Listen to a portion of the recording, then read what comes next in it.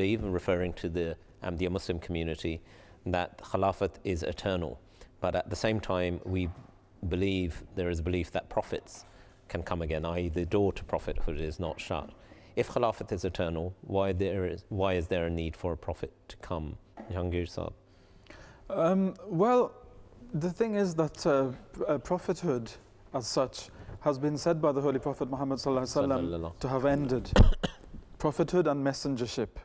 But he also left a window open and he said that, the, but there is something which remains of prophethood and that's called al-mubashirat, which means good news. And he qualified it uh, thereafter, saying that that referred to the ru'ya of, uh, of, the, of the Muslim meaning whatever is seen as a dream or vision, that would be, you know, under that category.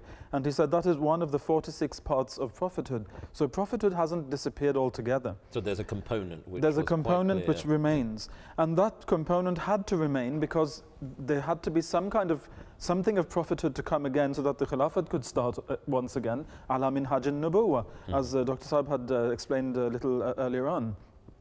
Um, but the thing is that um, uh, the caliphs themselves, once they've been established, the question might arise then, um, should uh, any of them, for example, become a prophet at some point? And that is a possibility, and indeed the Imam Mahdi salam has touched upon that.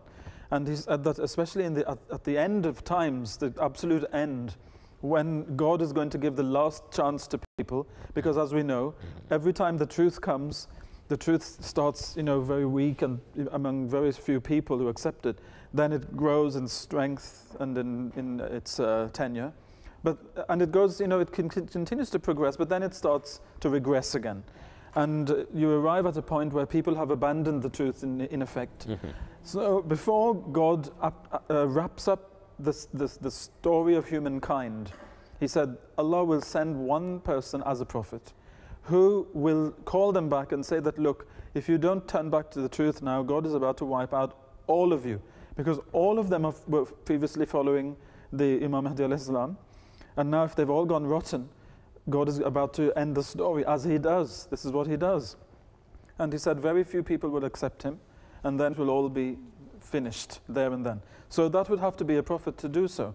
Um, so it doesn't preclude the, the coming of, uh, of prophets, the fact that the Prophet ﷺ said that prophethood and mm -hmm. messengership have ended, because there's always that window of al-mubashirat that remains.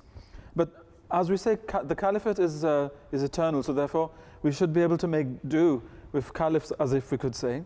But we have to remember that every prophet is also a caliph anyway. Allah says, Inni ja'ilun fil ardi khalifa. I'm about to put a caliph on earth. He doesn't say I'm going to put a prophet on earth. He doesn't say I'm going to put a messenger on earth. He says I'm about to place a caliph on earth. And who is that? Adam, mm -hmm. whom we know was a prophet because Allah Himself says it. He was a messenger, he was a prophet, but he, Allah calls him a caliph. Mm -hmm. So, in effect, every uh, uh, prophet is also Khalifatullah, he's caliph of Allah. So, whoever is chosen as a prophet is also a caliph anyway. So, that again, does, being a caliph does not preclude the fact that they can also be a prophet. On the contrary. And it's interesting that this question has been raised because when the Prophet Muhammad told the Muslims that you have to go and accept the Imam Mahdi when you hear his call, even if you have to crawl upon your knees in snow, as he says, uh, habwan al thalj.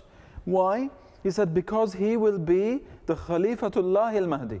He will be Allah's Caliph, the Mahdi, which is a clear indication that being Allah's Caliph, he will also be a prophet. Mm -hmm. Because prophets are called Khalifatullah, Allah's Caliph, mm. you see.